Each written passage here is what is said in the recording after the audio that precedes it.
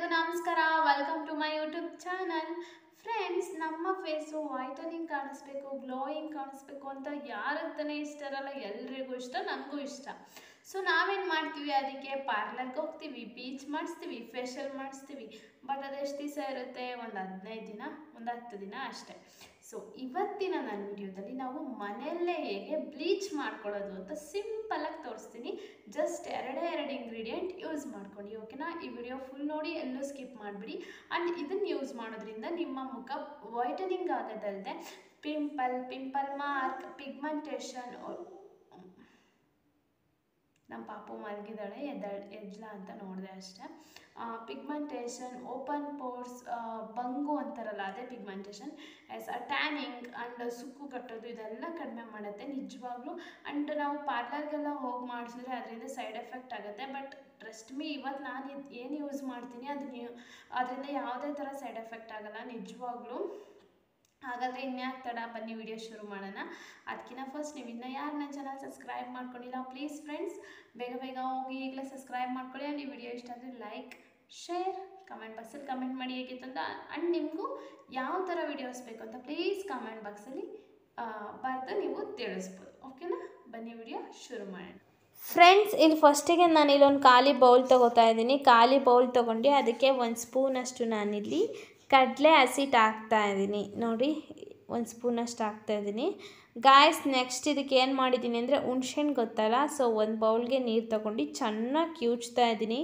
ಹುಣಸೆ ಹಣ್ಣಿಂದ ನಮ್ಮ ಫೇಸಿಗೆ ತುಂಬ ಅಂದರೆ ತುಂಬಾ ಬೆನಿಫಿಟ್ಸ್ ಇದೆ. ನೀವು ನಂಬಲ್ಲ ವಿಡಿಯೋ ಫುಲ್ ನೋಡಿ ನಿಮಗೆಲ್ಲ ನೀಟಾಗಿ ಎಕ್ಸ್ಪ್ಲೈನ್ ಮಾಡ್ತೀನಿ ಎಷ್ಟು ಬೆನಿಫಿಟ್ಸ್ ಇದೆ ಅಂತ. ಸ್ವಲ್ಪ ಹಾಕೊಂಡು ನಾನು ಕಲಗಿಸ್ತೀನಿ ಯಾಕಂದರೆ ಜಾಸ್ತಿ ನೀರಾಗ್ಬಿಟ್ರೆ ಅದು ಒಂಥರ ಫುಲ್ಲು ನೀರಾಗ್ಬಿಡುತ್ತೆ. ಹಚ್ಕೊಳಕ್ಕಾಗಲ್ಲ ಸೊ ಫುಲ್ ಇವಾಗ ನಾನು ಪ್ಯಾಕ್ ರೆಡಿ ಮಾಡಿದ್ದೀನಿ. ಬನ್ನಿ ಈಗ ಹೇಗೆ ಅಪ್ಲೈ ಮಾಡೋದು ಅಂತ ತೋರಿಸ್ತೀನಿ.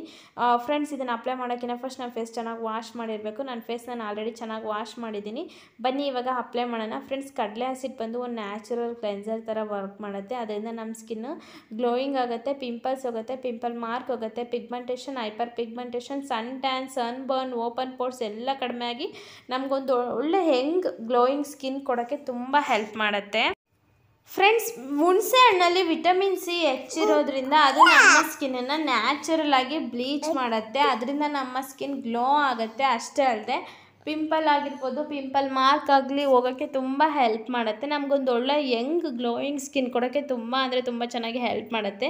ಈ ಎರಡು ಕಾಂಬಿನೇಷನ್ ಆಗಿ ಯೂಸ್ ಮಾಡಿರೋದ್ರಿಂದ ನಮ್ಮ ಫೇಸಲ್ಲಿ ಟ್ಯಾನ್ ಆಗಿದ್ದರೆ ಹೋಗೋಕ್ಕೆ ತುಂಬ ಅಂದರೆ ತುಂಬ ಚೆನ್ನಾಗಿ ಹೆಲ್ಪ್ ಮಾಡುತ್ತೆ. ಅಷ್ಟೇ ಅಲ್ಲದೆ ನಮಗೇನಾದರೂ ಸ್ಕಿನ್ ಅಲರ್ಜಿ ಆಗಿದ್ದರೆ ಅದು ಕೂಡ ಹೋಗೋಕ್ಕೆ ಹೆಲ್ಪ್ ಮಾಡುತ್ತೆ.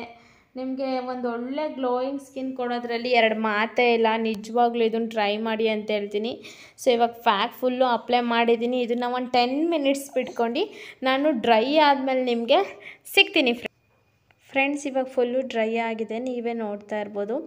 ನಾನಿವಾಗ ಹೋಗಿ ಕೋಲ್ಡ್ ವಾಟರಲ್ಲಿ ವಾಶ್ ಮಾಡ್ಕೊಂಡು ಬರ್ತೀನಿ. ಫ್ರೆಂಡ್ಸ್ ನೀವೇ ನೋಡ್ತಾ ಇರ್ಬೋದು ಐಡೆಂಟಿಫೈ ಮಾಡ್ತಾ ಇರ್ಬೋದು ಎಷ್ಟು ಗ್ಲೋಯಿಂಗ್ ಆಗಿದೆ ಅಂತ. ನಿಜವಾಗ್ಲೂ ತುಂಬ ಚೆನ್ನಾಗಿದೆ. ಟ್ರೈ ಮಾಡಿ ಓಕೆನಾ ಈಗ ಒರೆಸ್ಕೊಂಡು ನಿಮಗೆ ತೋರಿಸ್ತೀನಿ. ಫ್ರೆಂಡ್ಸ್ ಇಷ್ಟೋ ತನಕ ವಿಡಿಯೋ ನೋಡೋದಕ್ಕೆ thank you so much and ಹೇಗಿತ್ತು ಅಂತ ಕಮೆಂಟ್ ಮಾಡೋದು ಮರಿಬೇಡಿ. ನಿಮಗೆ ಯಾವ ಥರ ವಿಡಿಯೋಸ್ ಬೇಕು ಅಂತ ಪ್ಲೀಸ್ ಕಮೆಂಟ್ ಮಾಡಿ. ಆ್ಯಂಡ್ ಇದು ಇಷ್ಟ ಆದರೆ ಲೈಕ್ ಮಾಡಿ ಶೇರ್ ಮಾಡಿ ಕಮೆಂಟ್ ಬಾಕ್ಸಲ್ಲಿ ಕಮೆಂಟ್ ಮಾಡಿ ಓಕೆನಾ okay friends thank you bye love you all bye bye